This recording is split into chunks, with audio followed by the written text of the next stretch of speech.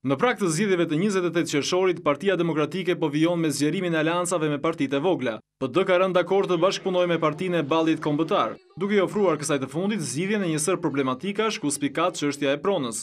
Shumë shpejt Partia Demokratike dhe Partia e Ballit Kombëtar do nënshkruajnë marrëveshjen e bashkëqeverisjes në mandatin e dytë. Koalicioni jonë bashkëqeverisës ka dhe një çështje për zgjidhje dhe mendojmë bashkë do e zgjidhim më mirë që është çështja e pronës. Nuk kemi arritur të bëjmë gjithçka në këto katër vite, nuk ishte e thjeshtë, ishte një çështje komplekse, po mendoj bashkarisht kjo do jetë çështja prioritare për ne në katër vitet e ardhshme. Kryetari i Partisë së Ballit Kombëtar i ka bërë thirrje anëtarëve të vet që të votojnë për të djathtën duke shkëputur përfundimisht të ardhmen nga e shkuara komuniste.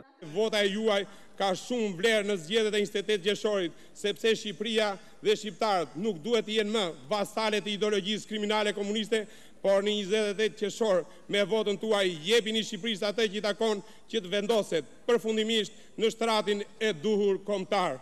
Rroftë Balli Kombëtar, rroftë Shqipëria Etnike! Aleanca me Ballin Kombëtar u shpall gjatë aktiviteteve të zhvilluara me rastin e shtatëdhjetë vjetorit të krijimit të kësaj partie. Pak ditë më parë, kryeministri Berisha, firmosi një marrëveshje bashkëpunimi me Aleancën Demokratike dhe Bashkimin Liberal Demokrat.